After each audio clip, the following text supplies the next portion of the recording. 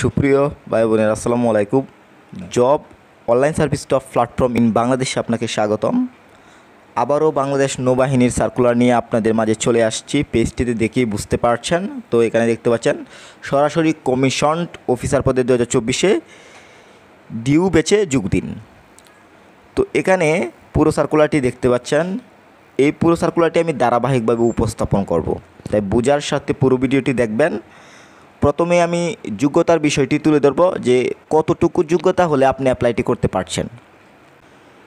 এই ধরনের সার্কুলারে আপনি পুরো সার্কুলার দেখেন বা না দেখেন কোনো বিষয় না, বিষয়টা হচ্ছে আপনার উপযুক্ততাটা দেখতেই হবে। কারণ আপনার যে যোগ্যতাটা ওনারা চাচ্ছে, সেই যোগ্যতাটা আপনার আছে কি না সেটা দেখা অত্যন্ত জরুরি। তো এখানে দেখে নেন, একে রয়েছে ইঞ্জিনিয়ারিং ও ইলেকট্রিক্যাল শাখা পুরুষ। তো বয়স এক জানুয়ারি দু হাজার চব্বিশ তারিখে অনূর্ধ্ব আঠাইশ বছর। এফিডেভিট গ্রহণযোগ্য নয়। এরপর শিক্ষাগত যোগ্যতা ন্যূনতম। সরকার কর্তৃক স্বীকৃত সুনামধন্য বিশ্ববিদ্যালয় হইতে নেভাল আর্কিটেকচার, মেকানিক্যাল, ইলেকট্রিক্যাল এবং ইলেকট্রনিক্স বিষয়ে বিএসসি ইঞ্জিনিয়ারিং। প্রার্থীকে এসএসসি ও এইচএসসি উভয় পরীক্ষায় ন্যূনতম GPA four point five zero সহ বিএসসি ইঞ্জিনিয়ারিংয়ে ন্যূনতম সিজিপিএ থ্রি পয়েন্ট চার স্কেলে প্রাপ্ত হতে হবে এবং বৈবাহিক অবস্থা অবিবাহিত। দুই, শিক্ষা শাখা পুরুষ ও মহিলা। বয়স এক জানুয়ারি দু হাজার চব্বিশ তারিখে অনূর্ধ্ব তিরিশ বছর। শিক্ষাগত যোগ্যতা, সরকার কর্তৃক স্বীকৃত সুনামধন্য বিশ্ববিদ্যালয় হইতে নিম্ন বর্ণিত বিষয়ে স্নাতক সম্মান। প্রার্থীকে এসএসসি ও এইচএসসি উভয় পরীক্ষায় ন্যূনতম জিপিএ চার এবং স্নাতক সম্মান পরীক্ষায় ন্যূনতম সিজিপিএ তিন চার স্কেলে প্রাপ্ত হতে হবে। বৈবাহিক অবস্থা বিবাহিত, অবিবাহিত। তিন শিক্ষা শাখা, ইঞ্জিনিয়ার, পুরুষ ও মহিলা।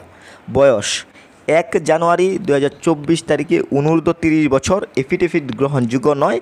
শিক্ষাগত যোগ্যতা সরকার কর্তৃক স্বীকৃত সুনামধন্য বিশ্ববিদ্যালয় হইতে নিম্ন বর্ণিত যে কোনো বিষয়ে বিএসসি ইঞ্জিনিয়ারিং। প্রার্থীকে এসএসসি ও এইচএসসি উভয় পরীক্ষায় ন্যূনতম GPA, four point five zero সহ বিএসসি ইঞ্জিনিয়ারিংয়ে ন্যূনতম সিজিপিএ তিন। চার স্কেলে প্রাপ্ত হতে হবে। তো এখানে বৈবাহিক অবস্থা, বিবাহিত, অবিবাহিত। তো বুঝতেই পারছেন যে শিক্ষাগত যোগ্যতাটা দেখা কতটা জরুরি।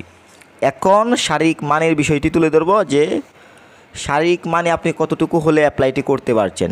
এই বিষয়টাও কিন্তু মোস্ট ইম্পর্ট্যান্ট তো প্রথমে আমি পুরুষদের বিষয়টি তুলে ধরবো তারপর নারীদের বিষয়টি তুলে ধরবো। পুরুষ উচ্চতা পাঁচ ফুট চার ইঞ্চি, ওজন পঞ্চাশ কেজি, বুকের মাপ তিরিশ বত্রিশ এবং মহিলাদের ক্ষেত্রে উচ্চতা পাঁচ ফুট দুই ইঞ্চি, ওজন সাতচল্লিশ কেজি এবং বুকের মাপ আঠাইশ তিরিশ তো ওই, এই বিষয়টাও কিন্তু দেখাটা অত্যন্ত জরুরি আবেদনের জন্য।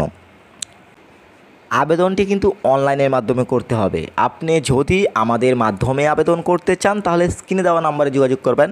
স্ক্রিনে দেওয়া নাম্বারে তারাই যোগাযোগ করবেন, যারা কাজ করবেন। কারও যদি কোনো বিষয়ে জানার প্রয়োজন হয়, অবশ্যই ভিডিওর কমেন্টে যোগাযোগ করবেন। নাম্বারে একদম ফোন দেবেন না।